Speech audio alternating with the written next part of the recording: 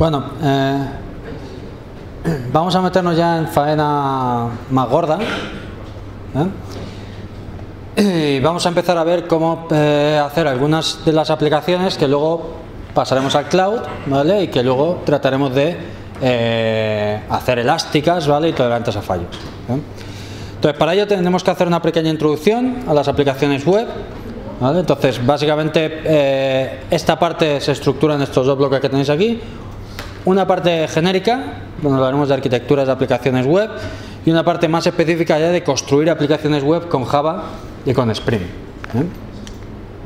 Entonces, bueno, desde un punto de vista eh, introductorio, pues eh, el desarrollo web, como probablemente ya sabéis, ha evolucionado muchísimo desde las antiguas páginas estáticas hasta las modernas páginas como pueda ser Google Maps, ¿vale? O cosas de este estilo, pues evidentemente hay un salto generacional enorme. Entonces, eh, esto ha implicado también una necesidad de herramientas software para desarrollo de aplicaciones web creciente. Entonces hay una multitud, de, hay una proliferación de herramientas de desarrollo web que muchas veces hacen complicado elegir una tecnología u otra para eh, un determinado proyecto. ¿eh? Además, esto también ha supuesto un, un reto a la hora de administrar los sistemas. Porque hemos pasado de un servidor que servía básicamente páginas estáticas, ¿vale? a eh, arquitecturas que tienen que ser tolerantes a fallos, de forma que si se me cae un servidor las peticiones puedan ser atendidas por otro, elásticas, de forma que si crece la demanda yo meta más servidores ahí para soportar esa demanda, ¿vale? Y cuando disminuya los pueda quitar porque estoy pagando por ellos, ¿vale? Etcétera, etcétera. Entonces este tipo de, eh, de requerimientos ¿vale? ha hecho eh, que la administración de este tipo de sistemas sea también bastante más complejo.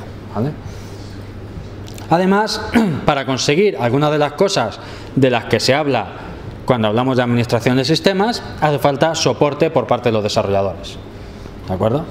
¿Que yo quiero balanceo de carga? Vale, pues dependiendo de cómo sea mi aplicación, quizá tenga que introducir algún cambio dentro de la aplicación para soportar que eh, diferentes peticiones puedan acabar en diferentes, del mismo usuario, puedan acabar en diferentes, eh, siendo procesadas por diferentes servidores.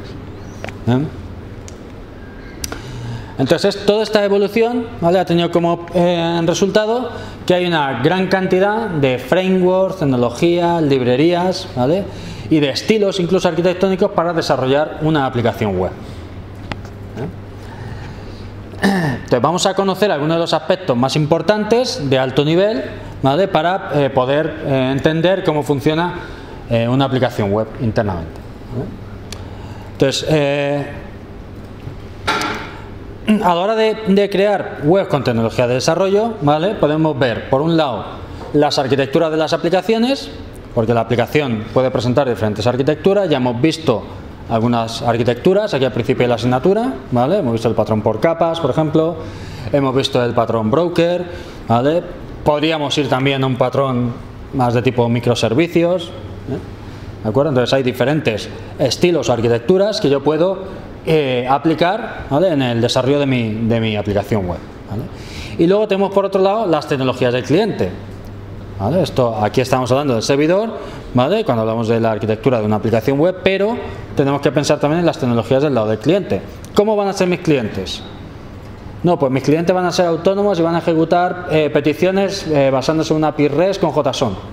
¿Vale? Bueno, pues eso es importante a la hora de definir mi aplicación web, ¿vale? Porque ya no tiene que responder con HTML, sino que tiene que responder con JSON, ¿vale? Tiene que presentar una API clara, ¿vale? De eh, qué cosas se le puede pedir un cliente a la aplicación y qué información le va a devolver como resultado la aplicación al cliente, incluyendo el procesamiento de errores, ¿vale? Que habrá que decirle cuando hay un error al cliente, oye, mira, que es que ha pasado esto, ¿eh? Porque al fin y al cabo, cuando separamos el cliente del servidor, ¿vale? Y el cliente es un cliente pesado implementado en Angular, JS o en eh, cualquiera de estas tecnologías que están tan de moda en el lado del cliente, ¿vale? pues eh, nosotros no tenemos control sobre cómo se le presenta la información al cliente. ¿vale? Entonces tenemos que comunicarle al cliente los errores y el cliente es el responsable de mostrar esos errores de alguna manera al usuario. ¿vale? O hacer lo que tenga que hacer. A lo mejor en lugar de mostrar un error, hace un par de reintentos antes de mostrar el error, por ejemplo. ¿De acuerdo? Entonces, esta separación también de backend o servidor y frontend o cliente. Eh, implica, también tiene ciertas connotaciones en la forma de hacer las aplicaciones, ¿de acuerdo? Entonces, típicamente los clientes están basados en HTML, en CSS y en JavaScript. Lo que pasa es que para gestionar todo esto, pues hay un montón de frameworks diferentes en el lado del cliente que podemos utilizar. ¿vale? Las tecnologías del servidor básicamente se centran en implementar el comportamiento de la aplicación en el lado del servidor. ¿vale? Esto implica la lógica de negocio, puede implicar generación de informes, puede implicar eh, generar información procesada a partir de la información en bruto ¿vale? y dejarla a disposición de otras aplicaciones que la consuman, eh, compartir información entre usuarios, enviar correos electrónicos, enviar SMS, etcétera, etcétera. ¿vale? Es decir, todo esto son eh, comportamientos propios del lado del servidor. Y luego tenemos la base de datos. Toda aplicación web, al final, por detrás, típicamente tiene una base de datos, donde están alojados los datos. Entonces, la base de datos es una parte esencial del desarrollo web que requiere su propia administración.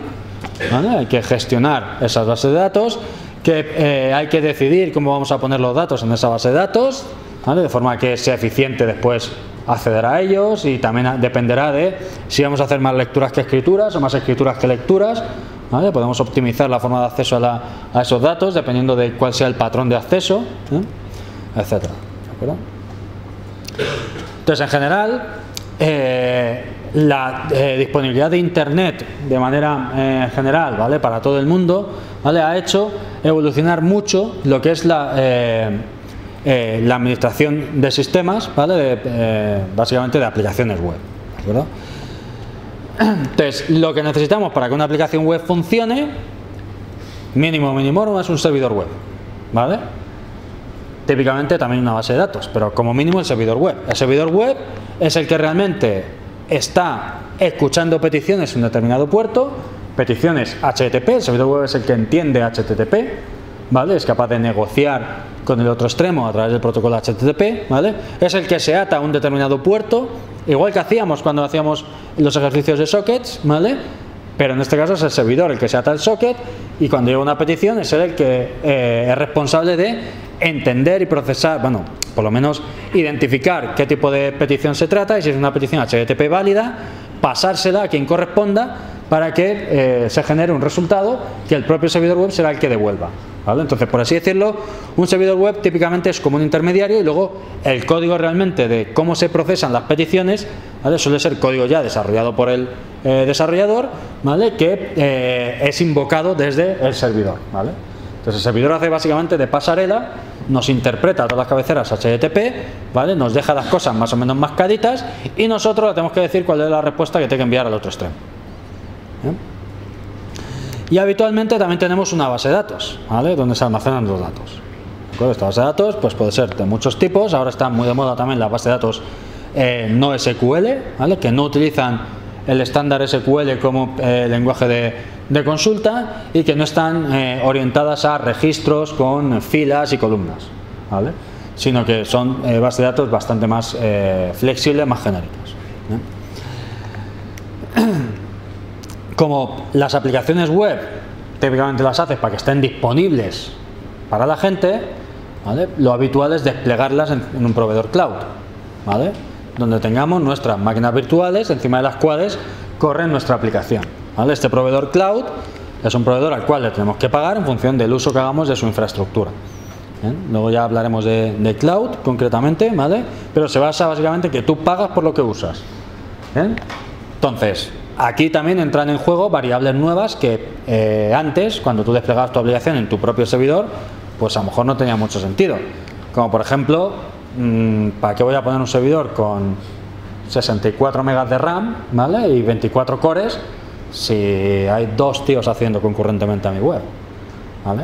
Ese servidor me sale mucho más caro que un servidor con un core y un mega de RAM y un giga de RAM. ¿Vale?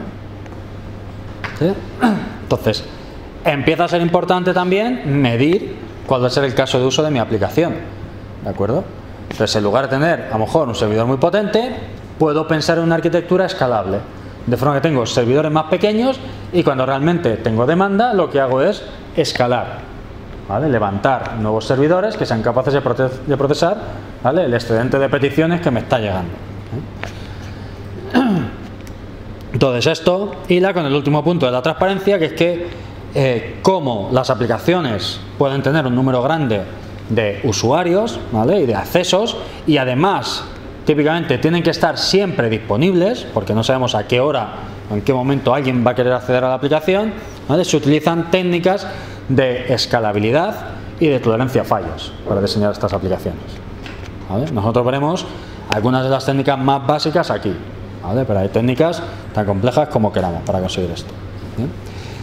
Bueno, ¿cómo es la arquitectura de una, eh, de una aplicación web? Bueno, pues básicamente, eh, bueno, aquí más que de arquitectura quizás deberíamos hablar de eh, topología, ¿vale? Porque no es arquitectura en el sentido de arquitectura software como hemos visto al principio de la asignatura, ¿vale? Sino que son básicamente los elementos, ¿vale? Que intervienen en una aplicación web. Bueno, pues lo primero que tenemos es un navegador, ¿vale? Que hace de cliente y que realiza peticiones a los servidores de forma que eh, este navegador tiene que conocer dónde están los servidores para poder acceder a ellos, ¿vale? Y esto ya veremos que es un problema, ¿de acuerdo? Y que prefiero que en general eh, la gente no sepa cuál es la IP de mi servidor, de forma que pueda tener muchos servidores o pueda intercambiarlos unos con otros, ¿vale? Y hay formas de, de conseguir esto, ¿de acuerdo? Pero en principio necesito conocer la dirección de ese servidor, ¿vale?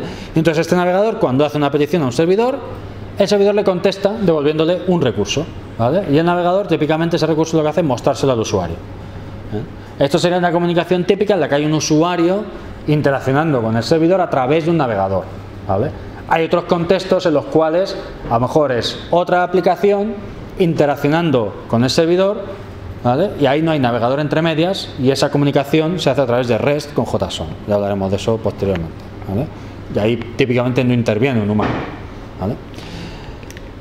Luego el servidor web, por otro lado, está esperando a recibir peticiones de los clientes. Cada vez que recibe una petición, la responde enviando un recurso o, en caso de que se produzca un error, pues notificándole un error al cliente, devolviéndole algún código de error. En el protocolo HTTP hay contemplado numerosos códigos de error para notificar el estado de una petición que se ha realizado un servidor. Bueno, hay códigos de error y hay códigos de éxito también. ¿vale? Si todo va bien, el protocolo de HTTP también contempla devolver un código indicando que la petición ha sido procesada correctamente. Entonces, la eh, arquitectura básica de una aplicación web está basada en dos eh, formatos o protocolos. Por un lado, el protocolo HTTP, que es un protocolo basado en TCP/IP, y que es el que eh, conocen el navegador y el servidor y utilizan para que el navegador pueda realizar peticiones al servidor. Oye, dame la página que está en barra no sé qué. ¿Vale? Entonces, eso es una petición HTTP de tipo GET, ¿vale? Que realiza un navegador a un servidor indicando una URI, ¿vale? Y entonces el servidor mira a ver si tiene algún eh, eh, procesamiento definido para esa URI, ¿vale? Y si es así, lo ejecuta y le devuelve el resultado al cliente, ¿de acuerdo? Y luego, por otro lado, HTML que es el formato básico de los documentos o recursos que devuelve el servidor en una aplicación web al cliente. ¿vale? Luego este HTML es renderizado o pintado por el navegador, ¿vale? para que el cliente pueda ver el resultado de la, de la petición. Entonces, bueno, eh, este esquema de funcionamiento que veis aquí ¿vale? ha evolucionado enormemente a lo largo de los años, ¿vale? Y no todas las aplicaciones presentan exactamente este comportamiento que hemos visto, ¿vale? Entonces las arquitecturas se diferencian principalmente en eh, si es estática frente a si es dinámica o interactiva, ¿vale? Es decir, es diferente que yo esté viendo una página estática que no cambia, ¿vale? Por mucho que refresque, ¿vale? A que yo esté viendo una página dinámica que puede ser que cambie su contenido incluso a lo largo del tiempo, ¿vale? Y, que es generada dinámicamente en el servidor. No es un recurso como un fichero que está en el disco duro del servidor y que se me devuelve, sino que es un recurso que se genera al vuelo, ¿vale? Durante la petición. Entonces, las tecnologías utilizadas en el lado del cliente, típicamente tenemos JavaScript, ¿vale? En el lado del, servidor, lo que tenemos es una, eh, un conjunto de tecnologías a nuestra disposición ¿vale? Hay eh, Java Enterprise Edition, .NET, PHP, Ruby on Rails, Python Django, Groovy, Node.js, el framework Play de Scala, ¿vale? Entonces hay un montón de opciones eh, disponibles en la parte del servidor. La parte del cliente está claro, todo pasa por JavaScript. Pero en la parte del servidor, pues uno puede eh, elegir el lenguaje de programación que más le guste, en el que tenga más experiencia, o típicamente, dependiendo del contexto de la aplicación, si es una aplicación sencilla, probablemente la puede realizar con cualquiera de los frameworks que tenéis ahí, ¿vale? Si es una aplicación más compleja, pues quizá te interese escarbar un poquito y ver qué framework te da mejor soporte para lo que tú quieres hacer. Y esta es una labor en general complicada que requiere ya de eh, hurgar un poquito y de un conocimiento un poquito más amplio de los diferentes frameworks. Entonces, cuando tenemos eh, una arquitectura con un cliente estático, un cliente estático es aquel que no ejecuta JavaScript, es decir, que la página es HTML y ya está, ¿vale? Pues eh, básicamente nos basta con un servidor estático, ¿vale? Si es que el recurso es directamente un HTML que está en el disco del servidor, o un servidor dinámico, típicamente basado en tres capas, si ese HTML se ha generado dinámicamente como resultado de la petición. Porque a lo mejor, por ejemplo, en ese HTML eh, se ha metido información que viene de la base de datos. ¿Vale? Entonces eso evidentemente no lo puedo tener en el disco como un fichero HTML, sino que cuando me llega la petición, a lo mejor dentro de la petición vienen parámetros, ¿vale? porque las peticiones que hace un navegador a un servidor pueden llevar parámetros, tanto en la URL como en el cuerpo de la petición, ¿vale? Y a lo mejor esos parámetros han disparado una consulta a la base de datos y el resultado de esa consulta se ha embebido dentro de la página HTML y todo ese HTML se ha devuelto al cliente. Pero es HTML plano, ¿vale? Los datos, si había que meterlos, ya los metió el servidor. En el cliente no hay que hacer ninguna interpretación, simplemente pintar el HTML. ¿eh? O puede ser que tenga un cliente dinámico con JavaScript, ¿vale? Puedo tener un cliente dinámico tanto con un servidor estático como con un servidor dinámico. ¿Vale? Lo que pasa es que típicamente se combinan tanto eh, dinámico en el cliente como dinámico en el servidor. ¿Vale? Entonces, con eh, JavaScript pues puedo hacer desde cosas simplemente de visualización como efectos gráficos que pueda tener mi página, ¿vale? Pues un zoom o un componentes que van apareciendo así de, eh, con degradados o con historias, aunque eso ahora también se puede hacer con CSS3, ¿vale? Pero bueno, típicamente se hacía con JavaScript. También puedo utilizar JavaScript en el cliente de forma dinámica para no cargar toda la página de una vez, sino cargar diferentes partes de la página de forma asíncrona con Ajax, ¿vale? de forma que tengo un componente que me muestra un gráfico de barras y luego debajo tengo otro componente que me muestra los datos de ese gráfico de barras detallados. Pues a lo mejor como resultado de cada uno de esos componentes se realiza una petición al servidor, ¿vale? Entonces yo veo la página con los componentes en blanco y cuando esas peticiones terminan ya eh, JavaScript es capaz de refrescarme el contenido de esos componentes y mostrarme el gráfico de barras y la tabla con los datos. ¿Vale? Pues típicamente este es el funcionamiento eh, que se prefiere para aplicaciones de cliente que son ricas, ¿vale? es decir, que tienen mucha información y esa información, pues si la quisiéramos cargar toda de golpe desde el servidor, pues a lo mejor implicaría un tiempo de espera que se nos podría hacer un poco largo. Pero si vemos ya la página maquetada y todo, con simplemente algunos huecos en blanco que se van rellenando conforme vayan llegando las diferentes peticiones Ajax, pues parece que no da tan mal rollo que ver una página en blanco completamente, Que, que no muestra nada. ¿De acuerdo? Entonces el mecanismo preferido hoy en día es eh, cargar los datos de la página, según vayan estando disponibles a través de múltiples peticiones.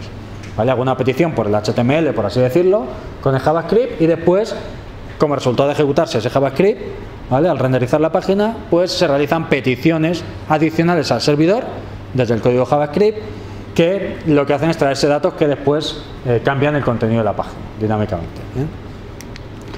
O bien, lo que se denominan SPA, Single Page Applications, que hacen uso de tecnología REST, ¿vale? que es directamente que yo no tengo varias páginas por las que voy navegando, sino que todo toda la aplicación es una única página ¿vale? y simplemente cuando yo voy clicando los controles, lo que hace JavaScript es cambiar el contenido de la página, realizando peticiones al servidor ¿vale? y trayéndose aquello que necesite pintar ¿vale? y cambiar de la página antigua a la nueva. ¿Sí? Entonces, la mayoría de las de las páginas modernas que veis son de tipo SPA. ¿De acuerdo? Y quizá una de las más eh, populares, las más conocidas, fue Gmail. Cuando Google introdujo Gmail, lo introdujo como una aplicación SPA, ¿de acuerdo? No había que recargar diferentes páginas, sino que era una única página y todo se hacía con peticiones REST al servidor, ¿vale? Desde JavaScript, ¿de acuerdo? Tú pinchabas en un correo, ¿vale? El contenido del correo se mostraba simplemente haciendo hueco en la página, desplazando contenidos, ¿vale? Haciendo visibles ciertos elementos, ocultando otros, ¿de acuerdo? Y eh, por debajo haciendo peticiones al servidor para traerse el contenido de ese correo que había que, mostrar. ¿De acuerdo? Entonces, esto da un aspecto mucho más dinámico a las páginas web de hoy en día. Entonces, bueno, ya, lo que ya os he comentado, cuando tengo un cliente estático y un servidor estático, el navegador hace una petición al servidor mediante HTTP, el servidor transforma la URL que le está pidiendo el navegador en una ruta en disco, ¿vale? Porque el servidor es estático, no puede hacer ningún procesamiento, lo único que puede hacer es devolver ficheros del disco, ¿de acuerdo? Entonces, coge el fichero y se lo devuelve al navegador, ¿vale? Que típicamente es un fichero HTML, y el navegador visualiza o renderiza la página HTML con los estilos CSS que tenga aplicados, etcétera, ¿vale? Pero sin JavaScript, ¿de acuerdo? Porque aquí tenemos cliente estático y servidor estático. Cuando el usuario hace clic en un enlace, por ejemplo, lo que hace el navegador es repetir el proceso, realizar una petición al servidor con la URL que viene en el enlace, ¿vale? Y recargar toda la página con el resultado que le devuelve al servidor. Entonces esto es el procedimiento de la eh, página web antiguas. Bueno, todavía, por ejemplo, hay muchas páginas de documentación, sobre todo documentación de software, que son así. Es básicamente servir ficheros estáticos que hay en el disco, ¿vale? Y ya está. Entonces yo voy navegando por la documentación de mi librería de lo que sea de una forma puramente estática, ¿vale? No hace falta nada más ahí, si al final es texto e imágenes, ¿de acuerdo? Puede ser que tenga el cliente, eh, bueno, eh, perdón, me salto esta transparencia. Con esta arquitectura lo que está claro es que ante una petición el servidor siempre devuelve lo mismo, que es el fichero en disco, ¿vale? Que viene representado por esa URL. ¿Vale? Porque hemos dicho que el servidor machea la URL y la convierte en una ruta en disco, ¿de acuerdo? Entonces, desde el punto de vista del servidor, la web es completamente estática, ¿vale? Entonces, lo único que puede tener en esa web son ficheros, ficheros HTML, CSS, imágenes, PDFs, ¿vale? Entonces, este tipo de web no se le suele llamar eh, aplicación web, sino que se le llama típicamente página web. Es una página web estática, sin más.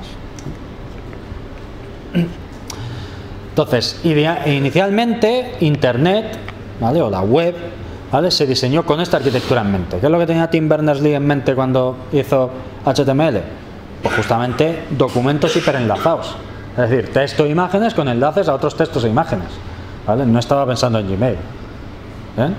¿Qué es lo que pasa? Que esto, ¿vale? evidentemente, ha evolucionado mucho ¿vale? y cada vez ya no solo eh, que las empresas hayan hecho eh, cosas más avanzadas, sino que incluso nosotros como usuarios hemos ido demandando cada vez cosas más avanzadas. Conforme veíamos que se podían hacer cosas más chulas, pues uno siempre escoge las cosas chulas. Entonces eso fuerza a que esa parte se siga desarrollando más. ¿De acuerdo? Entonces bueno, esto todavía se sigue usando, está eh, arquitectura estático-estático en páginas personales, por ejemplo, o páginas de proyectos como eh, eh, documentación y cosas así, ¿vale? Documentación técnica, Javadoc en Java, por ejemplo, un, sitio Maven generado a partir de, de la configuración de Maven del proyecto, etcétera, etcétera. Porque no hace falta más. Entonces, en determinados contextos, esto todavía es válido. ¿vale? Aquí tiene un ejemplo ¿vale? del Javadoc de Java que es que básicamente es documentación generada a partir del código y son ficheros HTML estáticos, puros, ya está. ¿Qué pasa cuando tengo un cliente estático y un servidor dinámico? Bueno, pues aquí típicamente entra en juego ya una base de datos, entonces ya tenemos una, eh, una arquitectura basada en capas, ¿vale? Donde en una aplicación web típicamente se habla de tres capas, ¿vale? Tenemos el navegador, donde tendríamos la capa de presentación, ¿vale? Ahí se visualiza lo que eh, devuelve el servidor. Tendríamos el servidor web, que es la capa de aplicación, la que típicamente tiene la lógica de negocio. ¿vale? ¿Qué es esto de lógica de negocio? Pues lo que hace particular mi aplicación de otra aplicación web. ¿vale? Es decir, el conocimiento que tiene dentro mi aplicación para hacer lo que tiene que hacer. Por ejemplo, una aplicación de correo electrónico ¿vale? es diferente de una aplicación de, yo qué sé, ¿vale? de cualquier otra cosa. ¿de acuerdo? Se dedica a gestionar correos electrónicos. ¿vale? Entonces, el dominio es el de los correos electrónicos y la lógica que tiene dentro de esa aplicación es la de enviar correo, recibir correo, abrir correo, borrar correo, ¿vale? Reenviar un correo, no sé, ese, ese tipo de cosas, ¿vale? Y luego tenemos la capa de datos, ¿vale? Donde típicamente, que típicamente es la base de datos que contiene los datos con los que trabaja la aplicación. ¿vale? La lógica de negocio se dedica a, cada vez que le llega una petición, recoger datos de la base de datos, hacer el procesamiento que requiera el dominio concreto, ¿vale? Y devolvérselos a la capa de presentación. Entonces, en este caso, cuando un servidor web recibe una petición, ¿vale? Dependiendo de lo que venga en la URL, ¿vale? Puede ser que devuelva contenido del disco, si lo que se le está pidiendo es una imagen, ¿vale?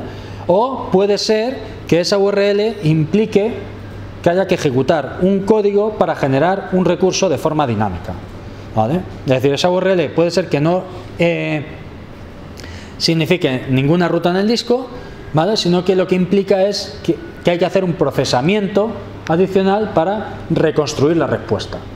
¿vale? Típicamente yéndose a la base de datos, ¿vale? trayéndose los datos que sean para componer un HTML que luego devolverle al, al cliente. ¿vale? Entonces lo más habitual cuando se hace este procesamiento dinámico es que se genere dinámicamente una página HTML que se devuelva al cliente. Ya veremos luego posteriormente cómo eh, hacer esto con Spring ¿vale? y cómo generar páginas HTML utilizando un motor de, plantillas. ¿eh? También podemos generar dinámicamente otro tipo de recursos, por ejemplo, la URL podría implicar eh, convertir un documento Word en PDF. ¿vale? Eso podría ser una cosa que hiciera nuestro servidor web.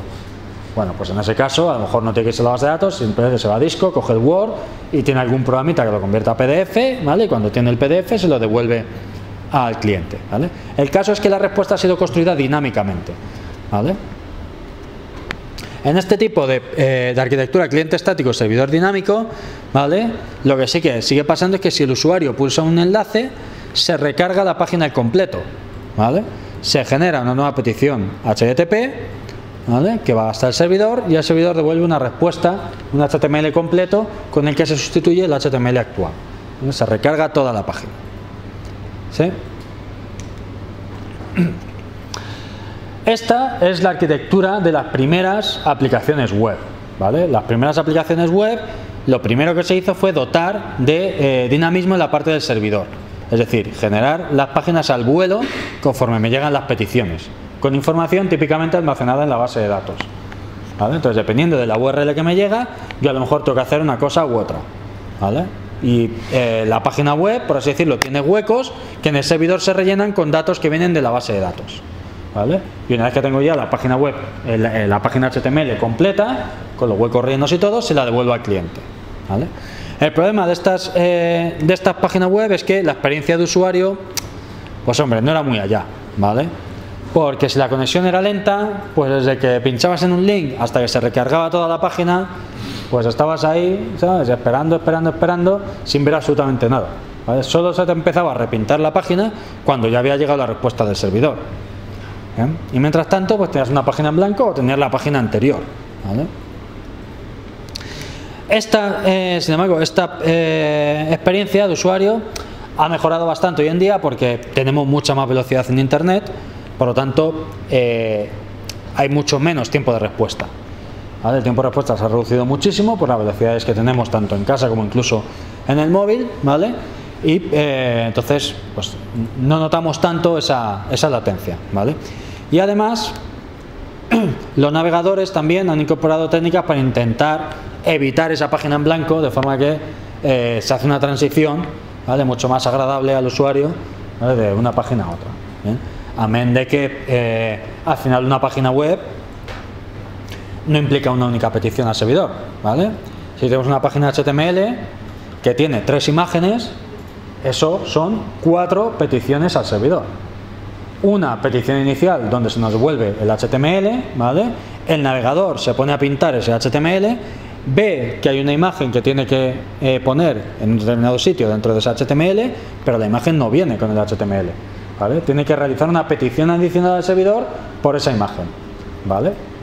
Y si hay otra imagen, pues otra petición al servidor por esa imagen, ¿de acuerdo? Y así sucesivamente, ¿de acuerdo? Entonces los navegadores han implementado también técnicas que hacen que en lugar de esperar a que tú tengas toda la página web junto con las tres imágenes, ¿vale? es capaz de irte mostrando la página según van teniendo elementos disponibles. ¿De acuerdo? Es unido a que la velocidad de internet es mayor hoy en día, pues hace que la experiencia sea una cosa razonable. Vale, la arquitectura con cliente dinámico y servidor estático. ¿Vale? En este caso, el contenido de la página web está alojado completamente en el disco duro del servidor, es decir, el servidor es estático, dado una petición a una URL siempre devuelve lo mismo, porque al final es un fichero en disco, ¿vale? Pero el cliente es dinámico, es decir, las páginas contienen código JavaScript que se ejecuta en el navegador. ¿Vale? Con esto se consigue cierto dinamismo en el lado del cliente. A ojos del cliente, la página tiene un aspecto más dinámico. Entonces, este JavaScript se utiliza típicamente para incluir efectos gráficos.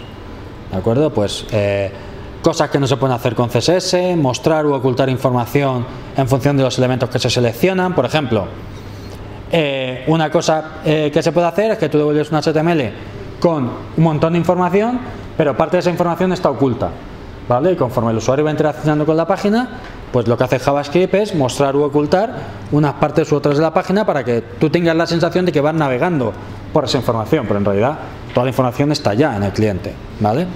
Menús, por ejemplo, efectos de menús desplegables y cosas así, ¿vale? O páginas adaptadas para móviles, lo que llaman el, responsive design, ¿vale? Páginas que se ven bien tanto en el escritorio como en el móvil, ¿vale? Y eso se consigue también con eh, JavaScript, Y por último tenemos eh, la arquitectura con cliente dinámico y servidor dinámico, ¿vale? que es la arquitectura más habitual de aplicaciones web hoy en día. Es decir, el servidor muestra una arquitectura en capas con una base de datos, ¿vale? construye las páginas al vuelo a partir de datos típicamente la base de datos ¿vale? y el cliente a su vez también hace uso de JavaScript no solo para conseguir efectos gráficos sino también para conseguir una mejor experiencia de usuario ¿vale? y para eso realiza por ejemplo peticiones en segundo plano con Ajax ¿vale?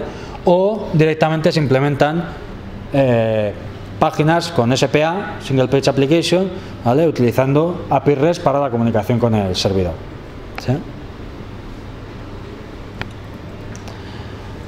Entonces, bueno, eh, JavaScript para efectos gráficos. Bueno, pues en este caso lo que hace el cliente básicamente es eh, lo mismo que haría con un servidor estático, ¿vale? Pero el JavaScript eh, se utiliza para introducir efectos gráficos en, en, la forma en la que se muestra el, el contenido. ¿De acuerdo? Entonces, inicialmente JavaScript se diseñó precisamente para eh, poder añadir algunos efectos gráficos básicos que no eh, cuando el soporte en CSS era muy limitado directamente ni existía pero la gran mayoría de las aplicaciones web ¿vale? que tenemos hoy en día lo que hacen es utilizar el JavaScript no solamente para conseguir efectos gráficos, sino también para dotar de mayor dinamismo a, las páginas. Cuando hablamos de utilizar JavaScript para hacer peticiones en segundo plano con Ajax, ¿de qué estamos hablando? Pues lo que os comentaba antes, no tener que cargar completamente el contenido de una página. Yo me traigo la página, a grosso modo lo más eh, en la parte más estática, ¿vale? Y después la parte más dinámica la cargo ¿vale?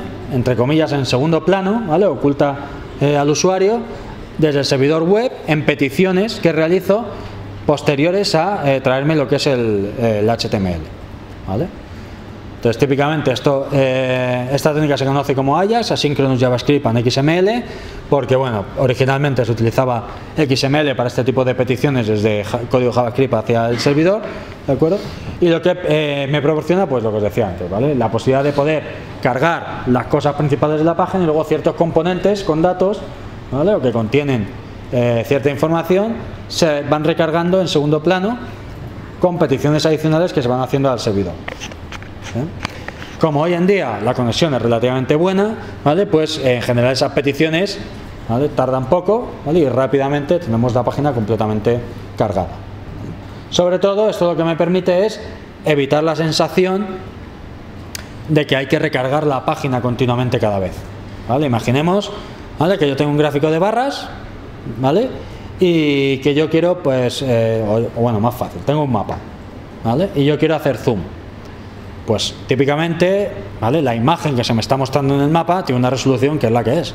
Yo no puedo hacer zoom hasta el infinito en la imagen. Llega un punto a partir del cual el zoom se transforma en una petición al servidor diciéndole, oye, este tío quiere hacer zoom aquí, páseme una imagen con mayor resolución de esta zona, ¿vale? Porque ya no puedo mostrar más zoom aquí, que se me está pixelando. Y lo único que se recarga es la parte de la página donde tengo ese mapa, ¿vale? El resto de la página no hay que recargarlo. Evitamos la sensación esta de que se recarga la página entera cada vez, que es bastante molesta además. Entonces, en este sentido, usar Ajax en una página mejora mucho la experiencia de usuario, ¿vale? Como ya digo, no es necesario recargar la página al completo y podemos cargar la página por partes, pero lo interesante no es ya solo cargar la página por partes, sino esta, este código de poder interactuar con una parte de la página y que solo se produzcan cambios en esa parte de la página, no en todo, ¿de acuerdo?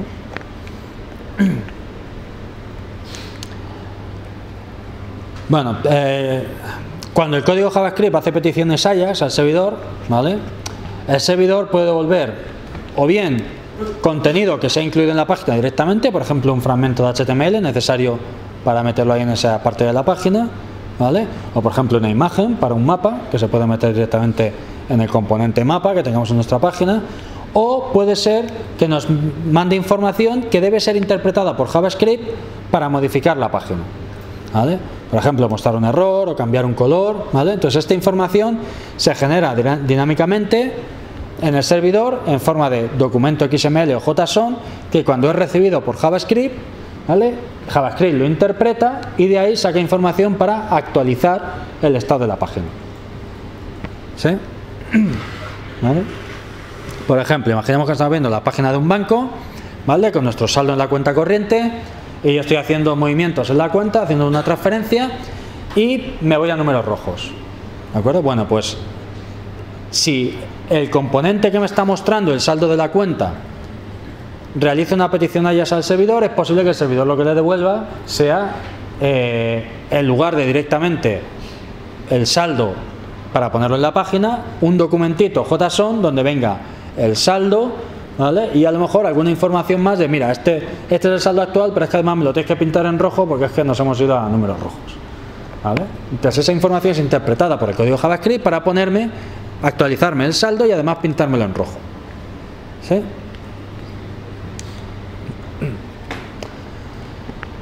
Entonces, bueno, eh, cuando utilizamos Ajax, ¿vale?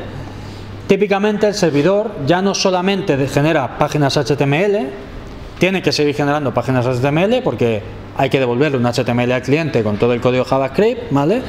Pero además tiene que soportar devolver información en XML o JSON, porque las peticiones Ajax, ¿vale? Típicamente van a recoger información en XML o en JSON. Entonces tenemos una parte, algunas peticiones devuelven HTML y otras peticiones devuelven eh, XML o JSON, ¿vale? De hecho, cada vez usa menos XML y más JSON, ¿de acuerdo? Entonces, típicamente cuando un servidor web genera XML o JSON ante peticiones HTTP, ¿vale? Es decir, el cliente sigue haciendo una petición HTTP al servidor, ¿vale? Sigue utilizando el protocolo HTTP. Pero lo que espera como resultado ya no es una página web, ya no es un HTML, sino que es un XML o un JSON. De hecho, en las cabeceras HTTP se puede especificar qué formato quieres que te devuelva el servidor. Si el servidor lo soporta, pues te intenta devolver un resultado en ese formato. Entonces, cuando tenemos Ajax, típicamente las peticiones Ajax van hacia URLs que están pensadas para devolver XML o JSON. Entonces, si tenemos un servidor que genera XML o JSON ante peticiones HTTP, ¿vale? lo que decimos es que ese servidor implementa una API REST. ¿De acuerdo? Y hablaremos ya posteriormente de, de lo que es, es una API REST. Entonces, básicamente es parecido a una API en, una, que puede tener una librería, ¿de acuerdo? Pero desde el punto de vista HTTP. Es un recurso, una URI que se accede por HTTP, cuyo resultado, en lugar de ser un HTML, es una XML o un JSON.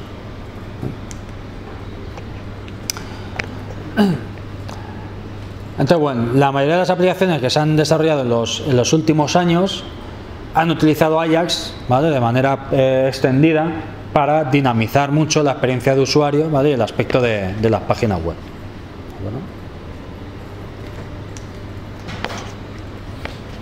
Y por último, dentro de lo que son los clientes dinámicos, podríamos tener un cliente que implemente el, el estilo Single Page Application, ¿vale? donde eh, la técnica Ajax básicamente se lleva al extremo ¿vale?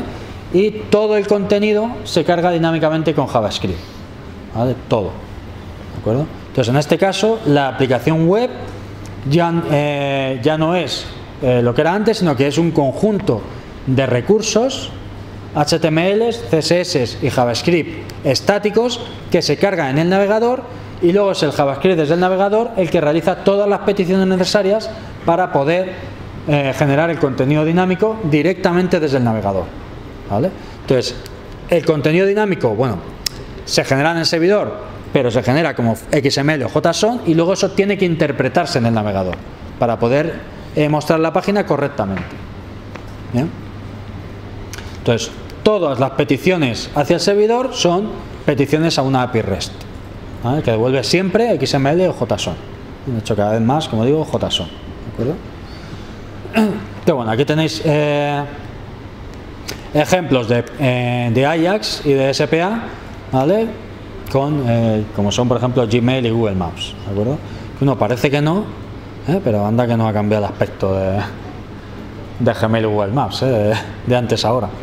Es que parece que uno está acostumbrado, parece que Gmail ha sido siempre así o que Google Maps siempre ha sido como es ahora, pero ojito, ¿eh? el aspecto que tenía antiguamente, parece, se ve viejuno. ¿vale? Un par de años ¿Eh? Un par de años, Bueno, algo más, ¿no? Un par de años, no sé, no sé cuánto, pero, pero sí, sí, no, no, hace tanto, vamos. Y sin embargo parece una web casi de los 80, ¿vale? Pero esta web ya eh, tenía dentro tecnología Ajax, ¿vale? Ya era capaz de eh, proporcionar una experiencia dinámica al usuario mediante eh, técnicas Ajax. Entonces, cuando hablamos de Single Page Applications con API REST, en realidad la aplicación web ya no vive en el servidor. ¿vale? Tenemos dos aplicaciones distintas. Tenemos la aplicación del servidor, lo que es el backend, y tenemos la aplicación del cliente, lo que es el frontend. El cliente es una aplicación JavaScript completa, Y eh, los desarrolladores backend y los desarrolladores frontend, frontend tienen que ponerse de acuerdo y definir una API que les valga a ambos, a unos para proporcionar servicios y a otros para consumirlos. ¿Sí? Entonces, cuando vamos a un enfoque SPA, que sepamos que ya el JavaScript no son cuatro recursos que se sirven desde el servidor, sino que típicamente es una aplicación completa ¿vale? escrita en JavaScript, con algún framework de JavaScript, ¿vale? con su propio sistema de construcción de aplicaciones, ¿vale? sea Google, Grunt o el que sea, y luego tenemos la aplicación eh, del servidor, ¿vale? del backend, bueno, escrita en el lenguaje que sea. Entonces esto evidentemente pues, eh, puede complicar un poco más el desarrollo web. ¿vale? ¿Pero qué es lo que permite?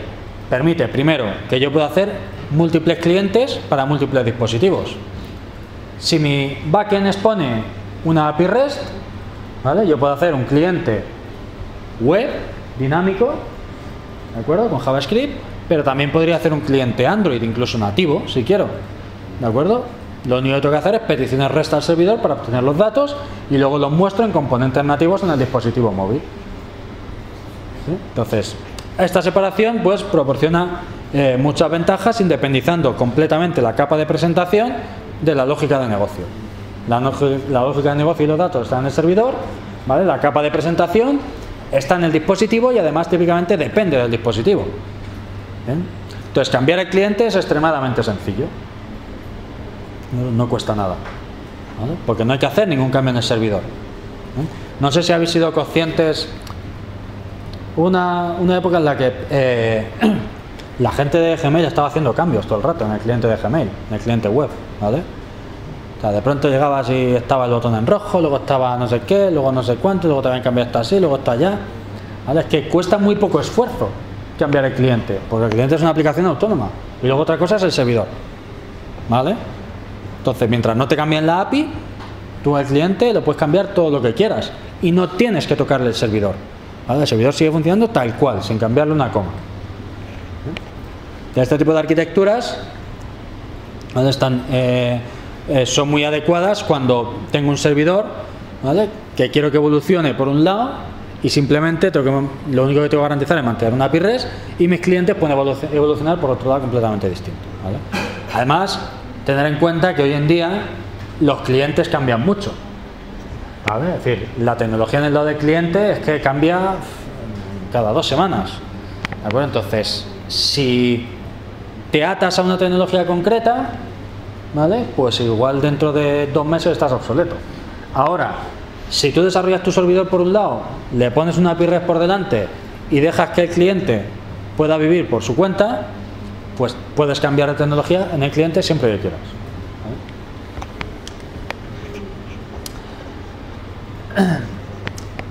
Entonces, bueno, algunos ejemplos de aplicaciones autónomas que se implementan con tecnologías HTML5, eh, ya bastante modernas, ¿vale? Y que se consideran SPA, pues tenemos, por ejemplo, aplicaciones para móviles con Apache Córdoba, con Firefox OS, ¿vale? De escritorio con Windows Store Apps o Google Chrome Apps o incluso para eh, televisiones, Smart TVs, ¿vale? Estas son aplicaciones SPA, ¿vale? Que básicamente lo que hacen son peticiones REST a un servidor. ¿De acuerdo? Entonces, en la mayoría de estas tecnologías, el código del cliente, que es básicamente HTML, CSS y JavaScript, ¿vale? Puede estar contenido en el paquete de instalación o puede descargarse al iniciar la aplicación. Es decir, aunque la aplicación del cliente es una aplicación autónoma. Típicamente la aplicación se embebe dentro del servidor, cuando tú haces la primera petición a esa página web, te descargas el cliente ¿Vale? a partir de ese momento ya todas las demás peticiones van por REST. ¿De acuerdo? Evidentemente el cliente lo tienes que obtener de algún lado. ¿Vale? La aplicación cliente. Entonces típicamente lo obtienes del servidor. El servidor tiene una URL bien conocida, ¿vale? Pero que esa URL bien conocida es de mentira, por así decirlo. Lo único que haces con esa URL es descargarte el cliente y después ya el cliente te muestra la página a través de peticiones REST que hace el servidor. ¿Vale? Bueno, eh, voy a pasar un poco eh, por alto esto de arquitectura de aplicaciones móviles, ¿vale? Porque eh, tampoco tiene eh, mayor historia, no es lo que me interesa aquí en la, en la asignatura, ¿de acuerdo? Pero bueno, que sepáis que una aplicación móvil, pues también hace uso de un servidor, ¿de acuerdo? Y aquí sí que típicamente estamos más atados a utilizar API REST, ¿vale? Para obtener la información de los servidores, ¿de acuerdo? Entonces, bueno, aquí tenéis un poquito cómo sería el funcionamiento de una aplicación móvil, ¿vale? Tengo una aplicación corriendo en el móvil que hace una petición REST a un servidor y el servidor le contesta, en este caso, con un documento JSON que contiene información. La aplicación en el móvil interpreta ese documento JSON y hará lo que tenga que hacer para cambiar la interfaz de usuario y mostrar la información que viene en ese documento. Bueno, pues entrando ya más en tecnologías de servicios en el servidor, ¿vale? ¿Qué tenemos en el servidor? Bueno, pues tenemos de todo. Porque si algo eh, se ha caracterizado el lado del servidor es porque cada lenguaje tenía su framework web, ¿de acuerdo? Y algunos más de uno, como Java, por ejemplo. Entonces en el servidor tenemos Java, tenemos PHP, tenemos .NET, tenemos eh, ASP.NET, tenemos Rails, que es un framework web para Ruby, tenemos Django, que es un framework web para Python, tenemos Grails, que es portar Rails a eh, Groovy, que es un lenguaje dinámico que se ejecuta sobre la máquina virtual de Java. Entonces tenemos un montón de opciones en el, en el lado del servidor. Como digo, prácticamente cada lenguaje de programación tiene su framework web. Quizá aquí la excepción eh, sea C o C++, que seguro que tiene un framework web asociado, pero que no es ni de lejos tan conocido como estos, ¿vale? y que además es un lenguaje que se utiliza más para sistemas. ¿vale? Pero, por ejemplo, PHP es un lenguaje que nació para la web. ¿De acuerdo? Hay otros lenguajes que aún no habiendo nacido para la web, se han adaptado muy bien a la web, ¿vale? Y se les ha puesto un framework web encima y a correr.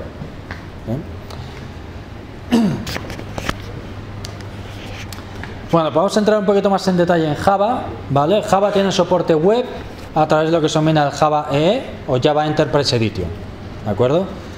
Java Enterprise Edition es una tecnología que está basada en Java, que ha sido desarrollada por una coalición de empresas lideradas por Oracle, IBM, Red Hat estaba metida también, ¿vale? y que es una tecnología muy muy utilizada a nivel empresarial, ¿vale? Muchas empresas cuando hay que hacer desarrollo web, ¿vale? Te dicen tiene que ser estándar J2E, ¿vale? Entonces tu aplicación web tiene que cumplir con los estándares de J2E y tiene que ser una aplicación, por así decirlo, con membrete J2E. Esto tiene algunas implicaciones, porque como todos los estándares, evolucionan despacio, ¿vale? a veces demasiado despacio. Entonces hay veces que el estándar todavía no está aprobado y sin embargo hay un framework web que ya lo implementa. Y ya puedes hacer aplicaciones utilizando ese estándar que todavía no está aprobado. Pero en muchas ocasiones a nivel empresarial, ¿vale? Las cosas en las grandes corporaciones van despacio y te fuerzan a que utilices exclusivamente esta versión de J2E y te tienes que atener a las especificaciones de esa versión. ¿vale? Entonces, la mayoría de las implementaciones de J2E ¿vale? Eh, son eh, software libre. Entonces, en general, es relativamente eh, sencillo acceder ¿vale? a implementaciones y herramientas relacionadas con J2E porque se liberan como software libre. ¿vale? Y luego existen comunidades de desarrolladores y empresas que hacen complementos, bibliotecas, herramientas, frameworks alrededor de Java 2E. Hay incluso frameworks web en Java que no son eh, Java 2E, ¿vale? Java Enterprise Edition. ¿De acuerdo? Los hay. O sea que directamente pasan de Enterprise Edition, ¿vale? Y hacen el framework como Dios le dio a entender. ¿Estoy forzado a utilizar Java Enterprise Edition? No. Pero como ya digo, hay empresas que es que te lo exigen. ¿Qué estándares? Eh, eh, bueno, eh, Java Enterprise Edition es básicamente una especificación que se basa en estándares, ¿vale? Entonces, para ello, en Java se utiliza lo que se llama el Java Community Process o JCP, ¿vale? Donde hay diferentes comités, ¿vale? Con que trabajan sobre diferentes peticiones. Oye, mira, que hay que, habría que soportar, yo qué sé, tal cosa, ¿vale? Bueno, pues forman un comité de trabajo, ¿vale? Y se ponen a trabajar en una estandarización de esa cosa para Java, Java Enterprise Edition, ¿vale? Cuando el comité termina su trabajo, hay un nuevo estándar en Java Enterprise Edition, que es el resultado de trabajo de ese comité, ¿vale? Entonces, típicamente este comité lo que produce son estándares abiertos, ¿vale? Que luego las librerías pueden implementar o bien como software libre o como software propietario. Entonces, algunos ejemplos de los estándares que han surgido como resultado del Java Community Process, pues tenemos la propia especificación de Java Enterprise Edition, la especificación de servlets, que es una pieza básica en Java Enterprise Edition, ¿vale? Una aplicación web en Java E, básicamente es un servlet, ¿de acuerdo? Que procesa peticiones. JDBC, que es un eh, driver de acceso a bases de datos relacionales, ¿vale? Es independiente de cualquier base de datos relacional, siempre que la base de datos sea relacional, ¿de acuerdo? Entonces te da una capa de abstracción. JPA, que es un estándar que define cómo se mapean eh, elementos dentro de una base de datos relacionales, dentro de una base de datos relacional con objetos Java en tu, en tu aplicación orientada a objetos, ¿vale? Entonces define cómo se hace ese mapeo, porque tú en Java manejas objetos, ¿vale? Y luego esos objetos típicamente los guardas en la base de datos, ¿vale? Pues puedes apoyarte en JPA para que ese guardado en la base de datos, esa transformación de un modelo de objetos a un modelo entidad-relación, una base de datos SQL, lo haga automáticamente Java por ti, ¿vale? Esa es la especificación JPA. Luego tenemos también el JB, los Enterprise JBeans, Enterprise Java Beans, que define también un modelo de componentes específicos muy usados en aplicaciones web, que no son nada del otro mundo, es básicamente una clase con atributos y con getters y setters. ¿vale? Son objetos orientados para contener datos, no son objetos pensados para tener comportamiento. ¿De acuerdo? Por lo tanto, ahí es un contexto en el cual es razonable que todos los atributos tengan getters y setters, ¿vale? Porque lo que quieres hacer es manipular los datos. ¿De acuerdo? Entonces eso es un eh, estándar que se denomina EJB, Enterprise Java Beans. Entonces, cuando en algún framework o algo veáis, eh, aquí esta, esta pieza del framework espera un bin. Pues un bin quiere decir una clase con atributos y con getters y setters para cada uno de sus atributos. ¿Vale? ¿De acuerdo? Entonces, como veis, es un proceso muy abierto, ¿vale? Donde se publican estándares. Otra cosa es que los estándares estén implementados. En muchas ocasiones los estándares no están implementados son eh, frameworks o librerías ¿vale? externos los que implementan esos estándares. ¿vale? Típicamente a un framework le interesa decir que implementa el estándar JPA. ¿De acuerdo? Porque la gente va a tender a programar contra JPA. ¿Vale? Si tu framework no soporta JPA, pues a lo mejor la gente no elige tu framework. ¿De acuerdo? Entonces, en general los frameworks intentan acogerse a los estándares, ¿vale? E implementarlos dentro del framework.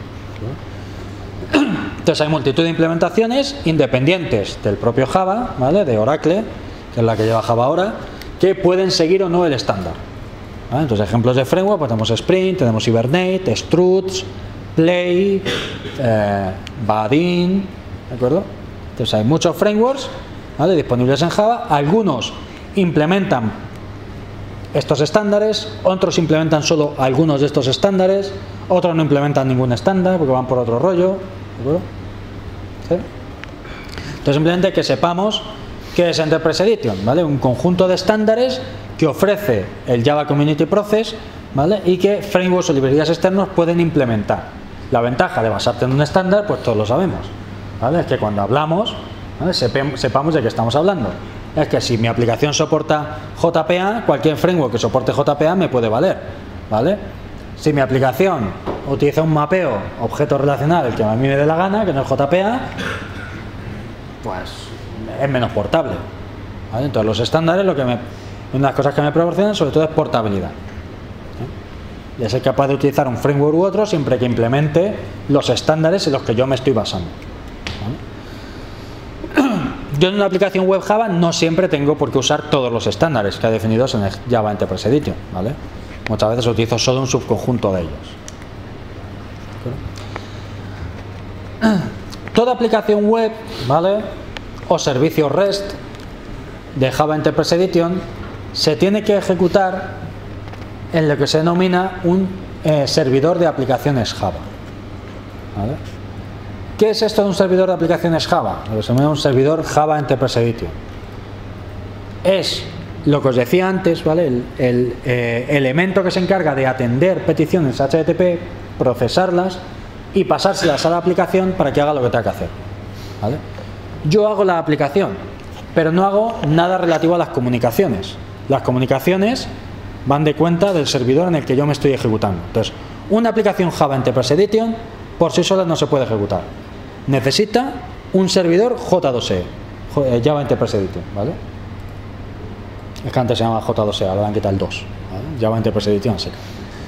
Entonces, toda aplicación Java es un código Java que requiere para ejecutarse un servidor de aplicaciones o un servidor Java Enterprise Edition. ¿Vale? Decir, por sí sola no se puede ah, ejecutar, no tiene un método main. Lo único que define son métodos que se ejecutan ante determinadas peticiones HTTP. ¿Vale? Pero ¿quién sabe si hay que ejecutar ese método, si ha llegado tal petición HTTP o tal otra? El servidor Java Enterprise Edition. Ese es el que lo sabe. ¿Vale? De forma que yo no tengo que gestionar ni el protocolo HTTP, ni las conexiones con el cliente, ni nada de eso. ¿Vale? Eso lo gestiona el servidor. ¿Vale? Es más, encima de un servidor Java Enterprise Edition, muchas veces puedo tener más de una aplicación desplegada, siempre que no colisionen en las URIs. ¿Vale? ¿De acuerdo? Entonces se le llama servidor Java Enterprise Edition o servidor de aplicaciones Java. ¿vale? Entonces hay muchos tipos de servidores dependiendo de diferentes cosas, dependiendo de las funcionalidades que ofrezcan, ¿vale? Porque podrían ofrecer todo el estándar Java Enterprise Edition o solo una parte, ¿vale? Del rendimiento que tengan, ¿vale? Porque los hay más eficientes, menos eficientes, más pesados, más ligeros en términos de uso de memoria, por ejemplo, y de la licencia barra coste, ¿vale? Si es una licencia libre, pues no hay problema. Si es una licencia privativa, ¿de acuerdo? Pues dependemos también típicamente del coste de ese servidor, ¿vale? Entonces, algunos ejemplos de servidores Java Enterprise Edition. Bueno, Glassfish, desarrollado por Oracle, Tomcat, desarrollado por la Apache Software Foundation, Yeti, desarrollado por Eclipse, JBoss, desarrollado por Red Hat, WebSphere, desarrollado por IBM, WebLogic, desarrollado también por Oracle, ¿vale? Es que a Oracle ahora le han caído también lo que era de Sun, ¿vale? Hace unos años Oracle compró a Sun Microsystems Glassfish era desarrollado por Sun Microsystems y WebLogic era desarrollado por Oracle. ¿Vale? Pero cuando Oracle se comió a Sun Microsystems, automáticamente le cayó Glassfish encima también. Es decir, Glassfish pasa a ser tuyo. ¿de acuerdo? Entonces ahora tienen que mantener dos servidores J2E.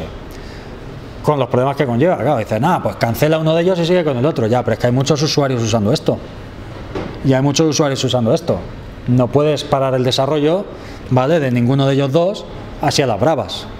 Puedes intentar ir convenciendo a la gente que se pase de uno a otro, ¿vale? Pero igual pierdes una cartera de clientes importantes si cancelas el desarrollo de alguno de esos servidores. ¿eh? Cuidado. ¿Sí?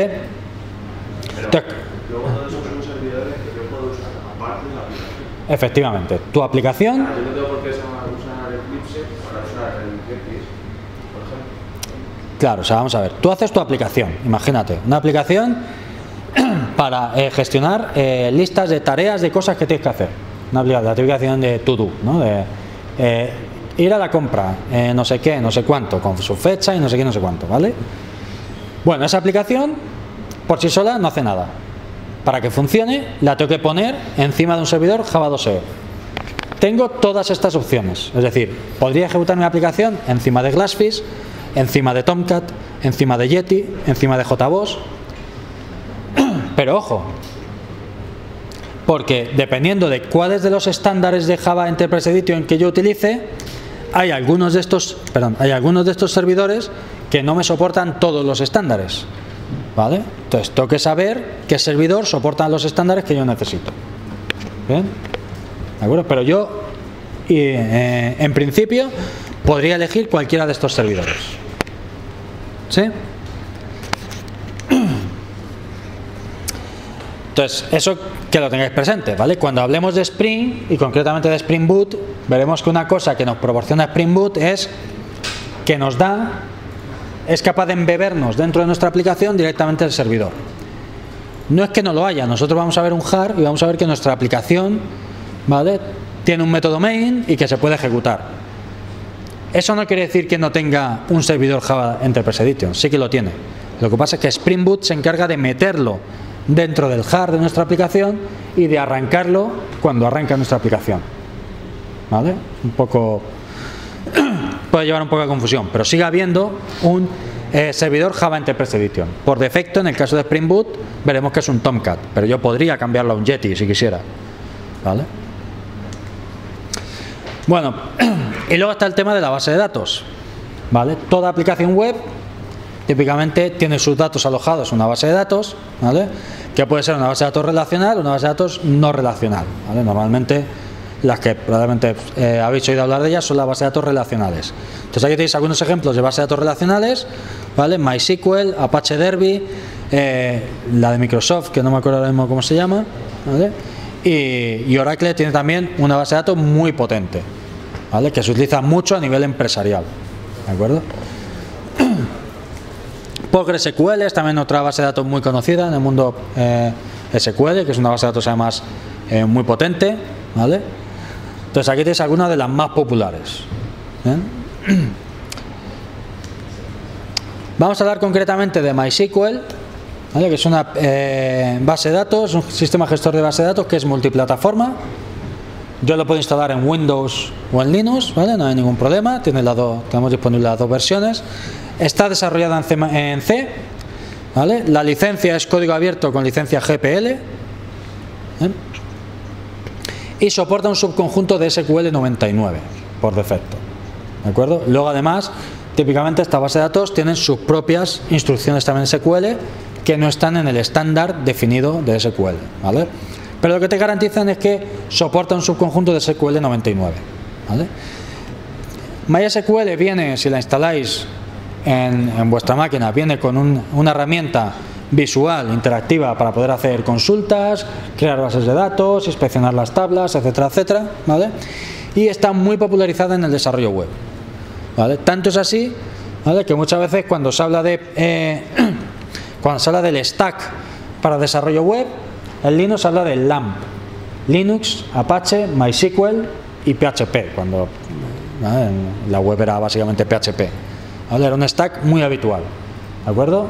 Un Linux con un servidor Apache corriendo, ejecutando código PHP, ¿vale? Y los datos en una base de datos MySQL. Entonces, MySQL está en todos lados, prácticamente en muchísimas de las aplicaciones eh, web, ¿vale? Que podamos encontrar en, Internet. Es una base de datos muy popular.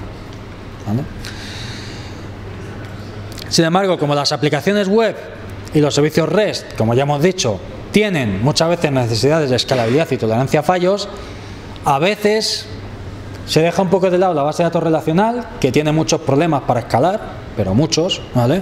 Y se tiende hacia un modelo de datos no relacional, ¿vale? Utilizando base de datos no SQL, la denominada no SQL, ¿vale? Que bueno, se puede interpretar como no SQL o como not only SQL, porque algunas de estas soportan SQL, pero además soportan otros lenguajes de consulta, ¿vale? El caso es que no es un modelo de entidad-relación, ¿vale? Al estilo de la base de datos de SQL, ¿vale? Entonces aquí tenemos algunas de ellas, por ejemplo Redis, RIA, Cassandra, MongoDB, ¿vale? Redis, por ejemplo, es una base de datos que consiste básicamente en pares clave-valor, ¿vale? Entonces, si yo tengo una estructura de datos donde me interesa guardar cosas de ese estilo, donde básicamente voy a guardar valores asociados a una clave, puedo utilizar una base de datos Redis. Por ejemplo, cachés. ¿Una caché qué es? Pues una clave, un valor. ¿Vale? Típicamente tú cacheas cosas que cuesta trabajo producir. ¿Vale? Imagínate que tienes una base de datos, que puede ser una base de datos relacional como MySQL, y tú eh, ejecutas una consulta sobre la base de datos, ¿vale? Y esa consulta es una consulta costosa. ¿Vale? Pues lo que puedes hacer es cachear esa consulta. La siguiente vez que te pidan eso, en lugar de irte a la base de datos, te vas a la caché y devuelves el resultado que tienes en la caché. Esto tiene sus problemas porque las cachés de vez en cuando hay que invalidarlas porque se pueden quedar obsoletas, el contenido de la caché puede quedarse obsoleto, etcétera, etcétera. De hecho ya hablaremos sobre cachés más adelante, ¿vale? Pero, eh, por ejemplo, una base de datos clave valor se puede utilizar para implementar una caché, ¿vale? Cassandra tiene un modelo de datos más parecido al modelo de datos SQL tradicional, con tablas, ¿vale? filas y columnas. Lo que pasa es que diferentes filas de la misma tabla puede tener diferentes columnas que es una cosa que no puede suceder en el modelo de entidad-relación, ¿vale? Porque cada columna típicamente representa un campo de un registro, ¿vale? Entonces, todos los campos, todos los registros en, base a datos de SQL tienen exactamente los mismos campos. En Cassandra esto no sucede así, ¿vale? Puede haber registros que tengan más campos y registros que tengan menos campos. Entonces, se proporciona un lenguaje de consulta tipo SQL, con lo cual, bueno, la curva de entrada es un poquito más pequeña, pero eh, eh, tienes un modelo de datos que no es realmente un modelo de datos entidad-relación, ¿vale? Eso puede tener sus problemas. ¿Os acordáis hace un rato cuando se hablaba de JPA y del mapeo objeto relacional? Cómo JPA se encargaba de convertir mis objetos en registros dentro de una base de datos relacional, ¿vale? Bueno, pues JPA no vale para estas bases de datos, ¿vale? No se ha pensado para esta base de datos y no funciona con esta base de datos. Entonces, ¿qué pasa si yo tengo un modelo de objetos que quiero convertir en documentos en una base de datos MongoDB? O en registros una base de datos Cassandra. Pues no puedo usar JPA. ¿Me lo toca hacer yo a mano? Pues no. El estándar Java Enterprise Edition llega hasta donde llega. ¿vale? Y hay veces que la industria se adelanta a esos estándares. Entonces, Java Enterprise Edition no ha proporcionado una solución para hacer mapeo de objetos a este tipo de base de datos. Pero no pasa nada, porque los que sí que les ha interesado hacerlo son a los frameworks. Entonces Spring, por ejemplo, sí tiene soporte para hacer este mapeo automáticamente. ¿Vale? Spring es capaz de mapearme mis objetos ¿vale? en mi aplicación a documentos, una base de datos MongoDB, por ejemplo. ¿De acuerdo? Entonces, donde no llega el estándar están los frameworks. ¿Vale? ¿Sí? Bueno, eh, vamos a dejarlo eh, aquí. ¿De acuerdo? Lo que veremos el jueves ya empezaremos a meternos en faena, a desarrollar y a ver un poquito cómo desarrollamos aplicaciones web con Java y con Spring Boot. ¿Vale? Tendremos que ver algunas generalidades primero, ¿de acuerdo? Entender un poquito cómo funciona esto de, Spring, hablaremos un poquito de, Maven, ¿de acuerdo? Y luego ya nos meteremos en faena, ¿vale? Aquí a ver una, alguna aplicación implementada con, con Spring Boot, ¿vale? Mm.